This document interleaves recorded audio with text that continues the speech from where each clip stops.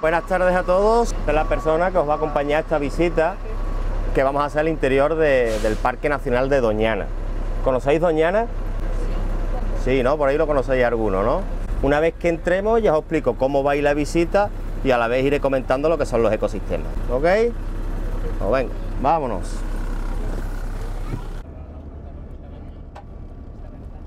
Van a ser playas, eh, zona de matorral, marisma y dunas spoiler.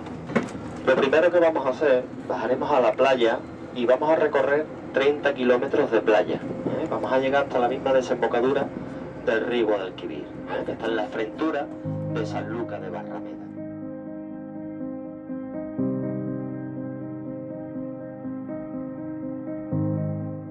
Doñana resulta tan real como imaginada. Este rincón de Andalucía ha estado envuelto en la bruma de lo desconocido, fuera de su propia comarca y por tanto rodeado del aura de los mitos. El viento y el agua convirtieron un trozo de océano Atlántico en este espacio de paisajes tan variopintos. La lluvia convierte a su suelo en un somero mar de agua dulce y el sol en un lugar que pone a prueba la supervivencia de la vida. Aparecen a la vista Europa y África según el mes del calendario. En cualquiera de los dos casos, cientos de formas vivientes la habitan, compartiendo esta planicie, uno de los grandes focos de biodiversidad del continente.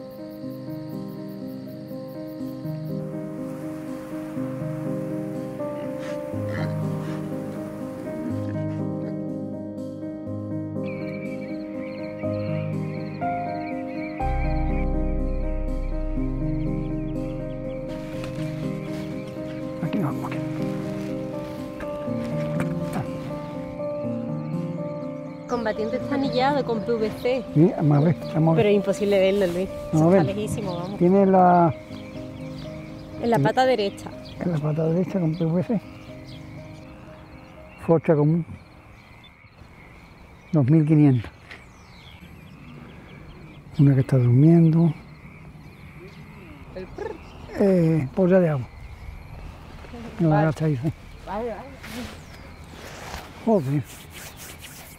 Estamos viendo un poco lo que hay en la, en las marismas del Rocío, ¿no? Es de los pocos lugares que tiene agua ahora mismo en el parque. Estamos desde leyendo anillas de flamenco hasta censando todos los pájaros que hay. La mitad de lo que hemos leído vienen de la Camarga francesa. Son flamencos que vienen de la Camarga francesa. Y otros están anillados en fuentes de piedra. ¿no?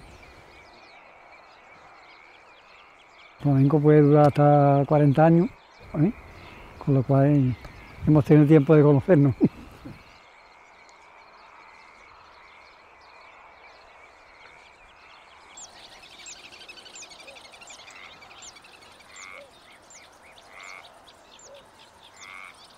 Este sitio es para mí de los mejores sitios de Europa para ver una enorme cantidad de pájaros cerca, confiados, que se pueden dibujar.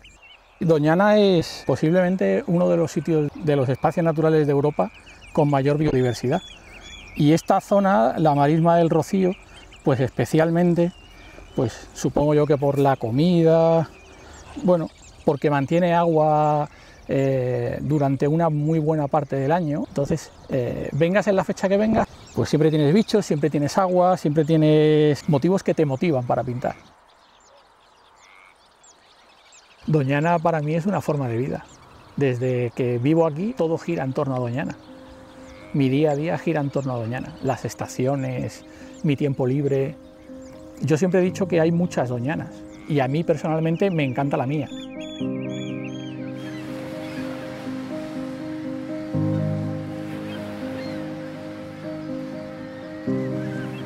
Lo que hoy llamamos Doñana se transforma de mar a tierra a medida que el viento de poniente va creando, sin prisa, sin pausa, un brazo de arena que cierra poco a poco el entrante del Atlántico que acabaría así convertido en lago, el lago Ligustinus. A la vez, la corriente de agua del Guadalquivir, en su continuo depósito de sedimentos a través de las docenas de brazos de su cauce, lo rellenó con tierras arrastradas desde media Andalucía.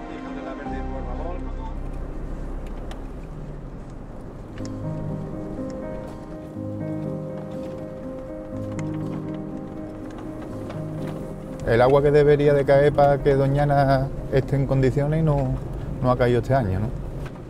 Sobre todo Ánzares, que con los fríos que han hecho en el norte pues han bajado unos pocos, pero todavía no ha llegado la totalidad de las aves que deberían de llegar para, la época de, de, nidificación. En mi caso más que nada es apoyo a la investigación, que es la base fundamental de nuestro trabajo. Aparte de eso, pues un poco de mantenimiento de las fincas, el control del ganado que tenemos autóctono de la vaca y de la yegua, eh, un poco la vigilancia de, lo que es la zona para ver que los cambios que hay, el estado que están los animales. Nosotros estamos el día a día, prácticamente los 365 días del año. Nosotros nos hemos criado ahí en Doñana y sabemos perfectamente todos los cambios según la época, los cambios que tiene, que tiene Doñana, que, que los percibimos en algunos casos incluso antes de que pasen.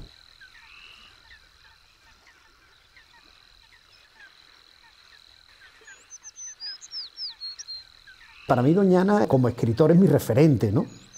Doñana ha evolucionado mucho, Doñana ha pasado de ser un lugar concreto a ser un concepto. ¿eh? Doñana eh, es una actitud ahora mismo, ¿no? Doñana antes era una finca con unas fronteras muy claras, sin embargo ahora Doñana son 15 o 20 pueblos y dicen que son Doñana. ¿Entiendes? O sea, porque es un elemento de identificación positivo. Entonces, yo, yo, claro, yo estoy imbuido de, de ese ambiente. Las primeras muestras eh, humanas en esta zona arrancan hace 5.000 años, 3.000 años antes de Cristo, por lo cual imaginaos lo que, lo que por aquí ha pasado.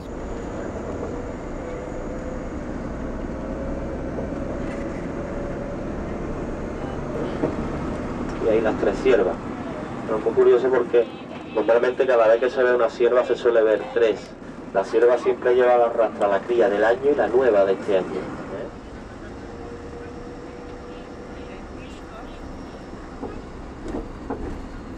Esto se le conoce como el Cerro del Trigo. Se hicieron unas, excavaciones, también se le conoce por eso, ¿no? El Cerro del Trigo, por unas excavaciones arqueológicas que se realizaron aquí. Esas primeras excavaciones se realizaron entre el 1923 y 1925 por un tal porque creía que ahí se podía encontrar la ciudad artésica. Lo que se encontraron fue una pequeña aldea de, de romanos donde hacían el salazón del atún.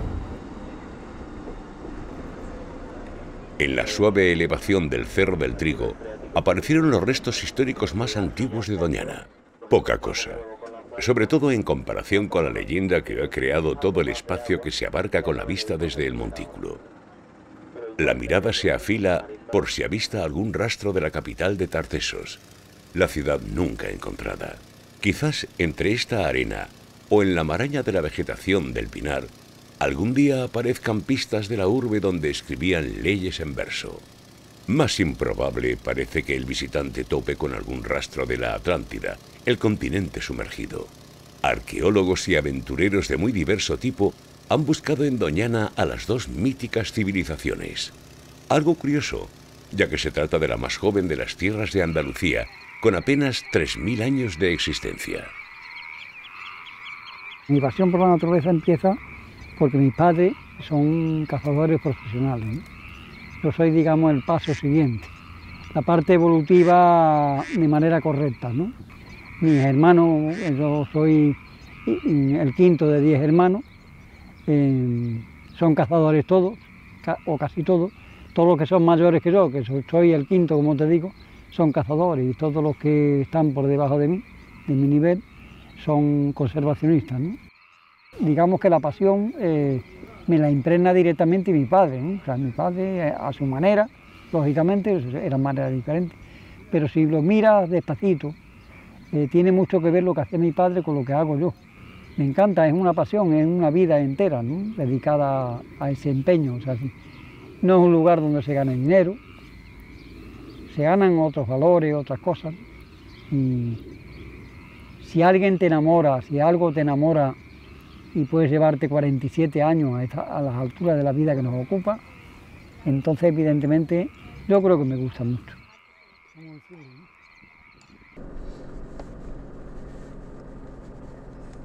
Toda mi vida. Yo prácticamente nací en Doñana, me he criado en Doñana, he vivido en Doñana y gracias a Dios estoy trabajando en Doñana. Mi padre era guarda de Doñana, mi abuelo estuvo en Doñana, mi bisabuelo estuvo en Doñana y ahora gracias a Dios y por suerte estamos mi hermano y yo en Doñana. Doñana no es solo eso, la, naturaleza o la fauna, sino que la convivencia que tiene el ser humano con la naturaleza. Hoy en día todavía sigue algunas tradiciones como la saca de las yeguas, eh, el manejo del ganado marismeño, que eso se ha hecho toda la vida de Dios.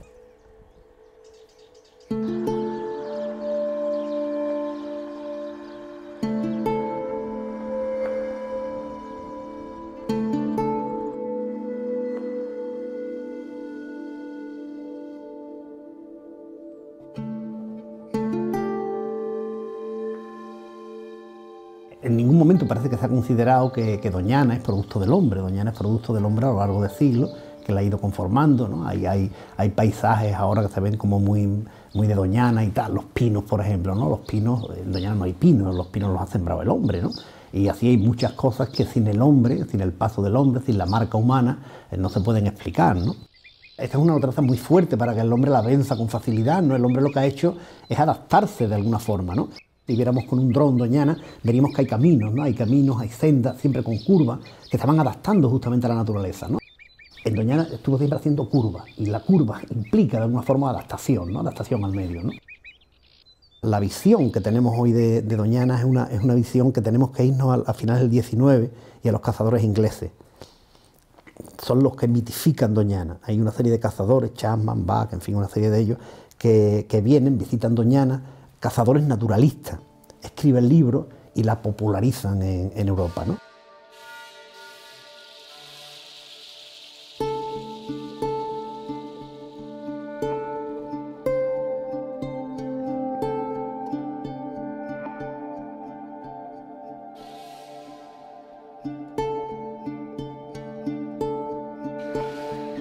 En Doñana empecé a trabajar desde oficialmente desde el año 73 o sea, es decir, hace 47 años.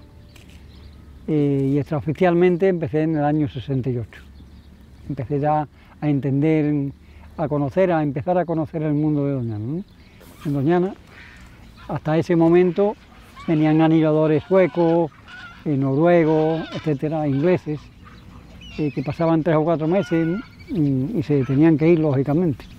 Y yo me quedé para siempre hay algo a lo que no me acostumbro, ¿no? Y es al estar retirado, ¿no? Ahora mismo todavía no me adapto a disfrutar solamente a disfrutar, sino que tengo que hacer algo que sea útil. Leer las anillas que hemos leído esta mañana de las espátulas, hacer un seguimiento de la misma manera que lo hacía antes de ayer. Es que no me siento diferente. No voy a estar jubilado nunca, ¿no? De ninguna de las maneras. C8N, macho. C8N, macho. Mm.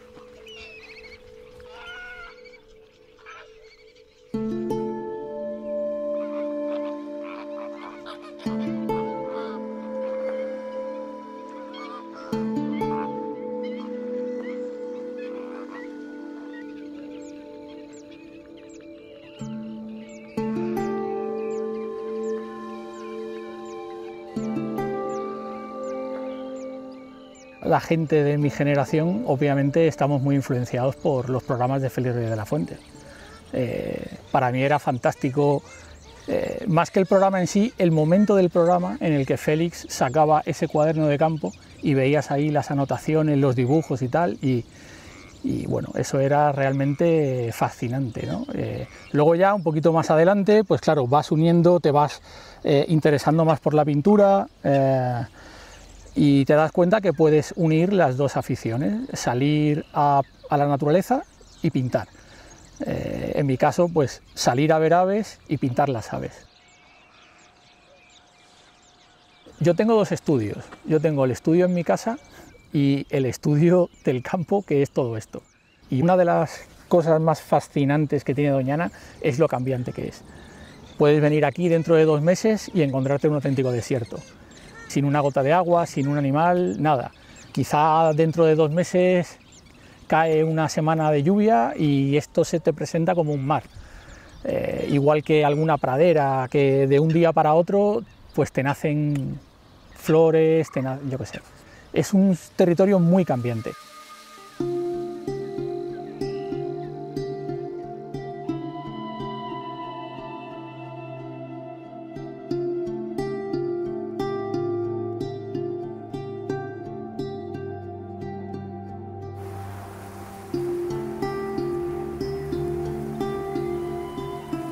Por un principio dije que las dunas nacen en la zona de playa, que la tenemos en la parte izquierda, a unos 5 kilómetros alejados de aquí, y mueren, se quedan estabilizadas en la zona de marisma, que es lo que tenemos en el fondo.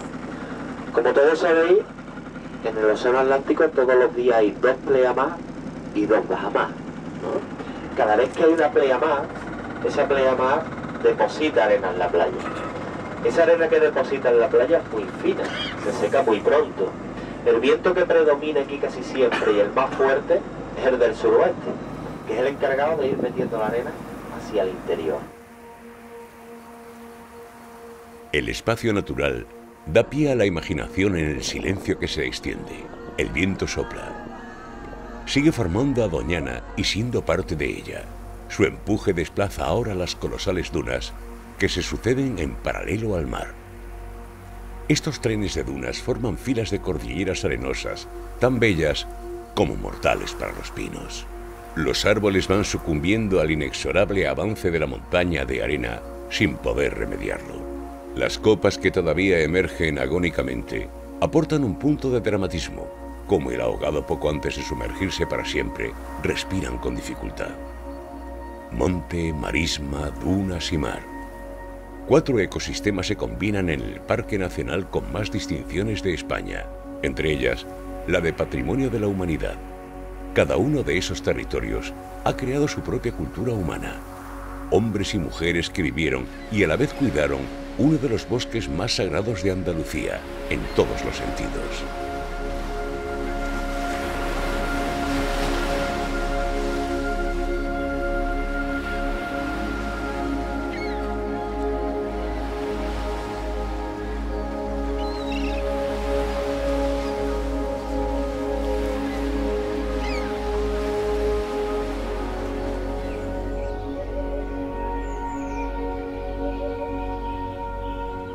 De la naturaleza prácticamente lo controlamos todo, desde la vegetación, alguna planta invasora, especies nuevas de aves, especies nuevas de algún mamífero que, que no se haya visto, algún reptil, que indicadores, pues todo, todo lo que tiene Doñana nos sirve a nosotros de- del día a día de como un indicador de qué es lo que está pasando o qué es lo que puede pasar.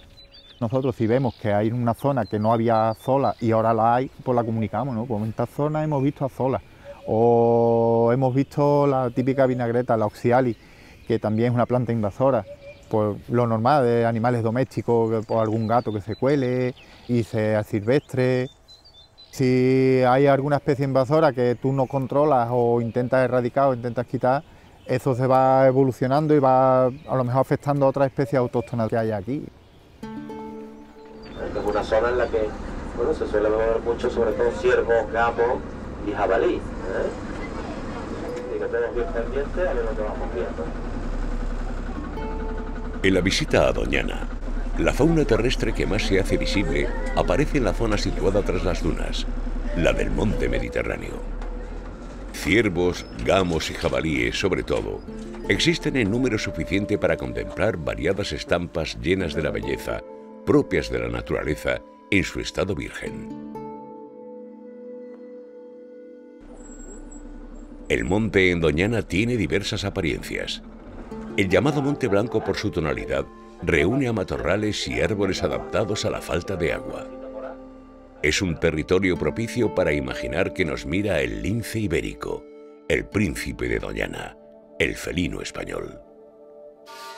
El Monte Negro crece en tierras más húmedas. Es lugar para brezos, mirtos y zarzas, que dan cobijo a nuevos mamíferos. Sobre esta fauna se elevan las rapaces. Doñana ofrece condiciones para la vida de casi todas las aves de presa de la península. Las más escasas son el águila imperial y la pescadora, así como el milano real. Pero otras águilas, cernícalos y halcones se entrecruzan en estos cielos casi siempre azules. Los científicos de la Estación Biológica de Doñana las vigilan. Los expertos disfrutan en estas 110.000 hectáreas de un laboratorio a cielo abierto extraordinario.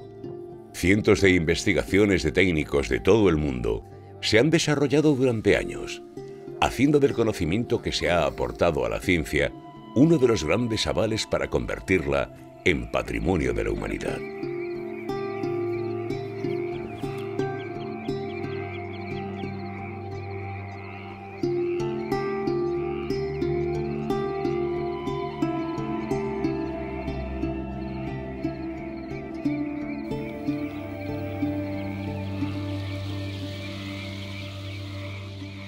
Bueno, Doñana no es muy complejo, es, al mismo tiempo que es complejo, lógicamente, es un sistema simple que tiene dos variables o tres variables.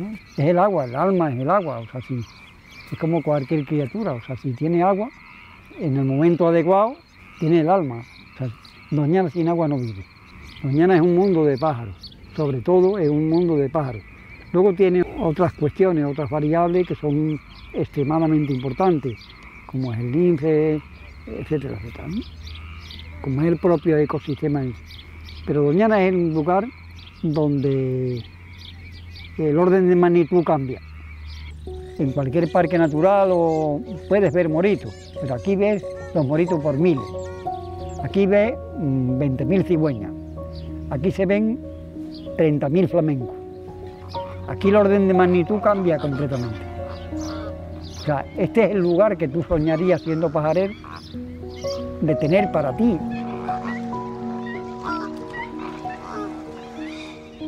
Doñana tiene grandes lucios, espacios que se caracterizan por una mínima profundidad, a veces centímetros, que se convierten en impresionantes superficies inundadas, de agua y de fauna. Unas 200 especies de aves viven o pasan por Doñana. Las acuáticas, con su gran número de ejemplares, componen los cuadros más espectaculares. Cientos de flamencos, cigüeñas, espátulas, moritos o patos de diverso tipo comparten sin disputa el alimento que aparece al reclamo del agua. Crustáceos, peces, gusanos, anfibios o raíces carnosas van siendo engullidas para asegurar la supervivencia de las crías.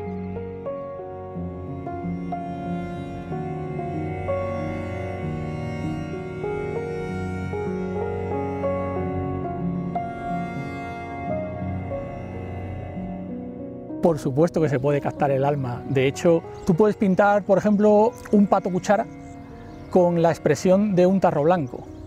Y el que haya visto muchos tarros blancos y patos cuchara se da cuenta que ese bicho no está bien, porque cada uno tiene su expresión, su mirada, su manera de moverse.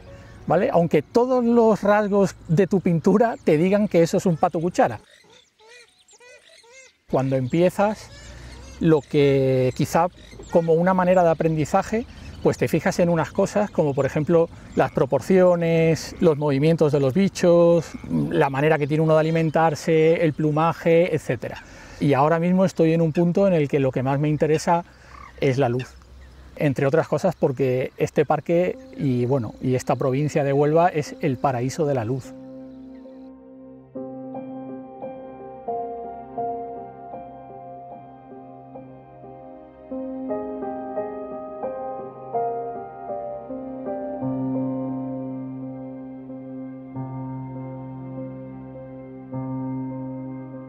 Estamos en la última parada de dos continentes, ¿no?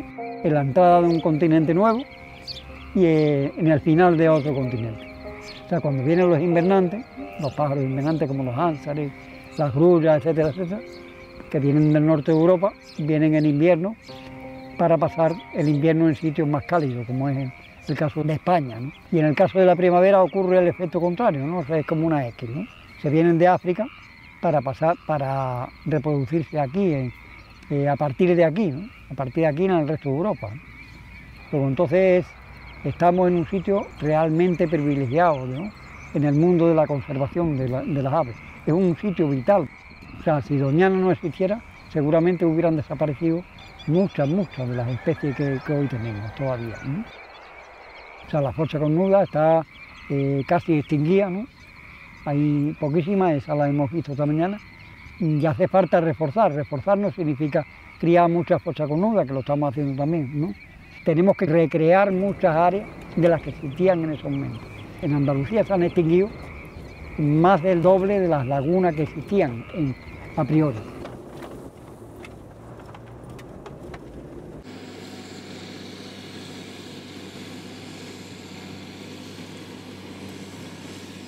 Antes, bueno, en el, finales del 18, principios del 19, hay un serie de intentos de crear poblados aquí, de crear poblados y de sanear esto, ¿no? Esto era, era una charca pestilente en la que la gente se moría de paludismo y de mil enfermedades y estaba la idea de bonificar que este espacio fuera más sano y que aquí pudiera vivir la gente. ¿no?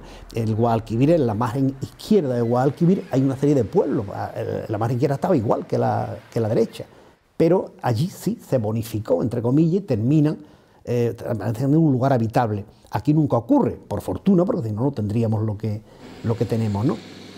estos conflictos que tenemos ahora mismo con el agua eh, de los frutos rojos, con la fresa, etcétera, etcétera, no es más que una continuación del conflicto.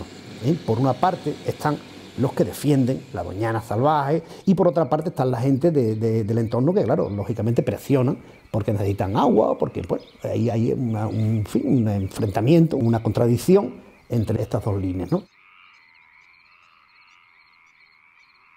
Doñana siempre ha sido un territorio muy complicado para gestionar. Buena parte de lo que es Doñana y de la forma en la que está conservada ahora mismo se la debemos a los cazadores, eso es innegable. Pero es cierto que es un territorio en el que hay muchos intereses y hay que, es muy difícil poner a todo el mundo de acuerdo. Gente del entorno, ganaderos, agricultores, conservacionistas, turistas, científicos,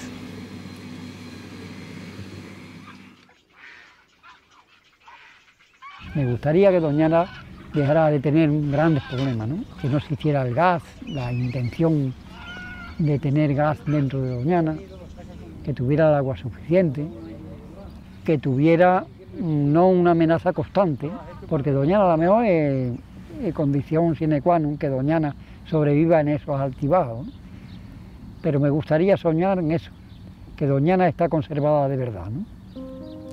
Tenemos sitio suficiente para vivir todos.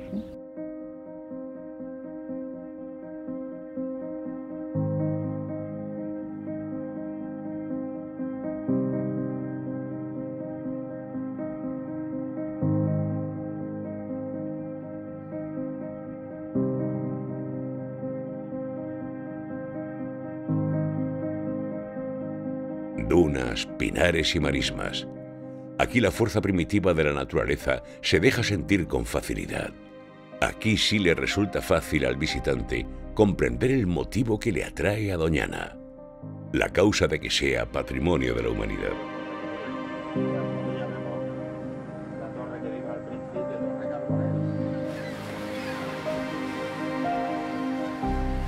Doñana es un concepto hoy, no es, es una forma de mirar el mundo.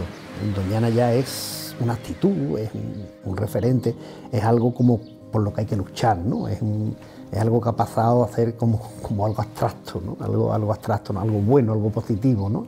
Algo por lo que, lo, por lo que es bueno luchar, ¿no? Algo que hay que mantener, ¿no?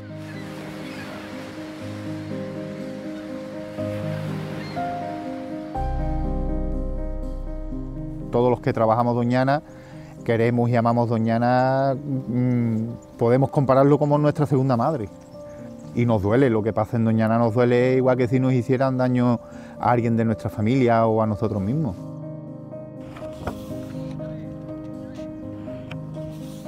Desde muy jovencito tenía un sueño y era pasar una parte de mi vida en Doñana. Y bueno, gracias a Dios, pues mira, lo he cumplido. Es decir, para mí levantarme todos los días aquí, salir a pintar, eh, es que no puede haber nada mejor. Doñana me enseñó, lo primero que me enseñó es a ser libre. Yo escribo todos los días de mi vida, he escrito sobre Doñana. He hecho letra de cada uno de, de los pasajes de mi vida en Doñana. O sea, se puede intuir cualquier movimiento mío en Doñana. Son importantes porque retratan un tiempo, un ciclo del tiempo de 47 años escrito. Soy ejemplar solamente por lo cansino, ¿no? porque no he dejado esa disciplina ni un solo día de escribir.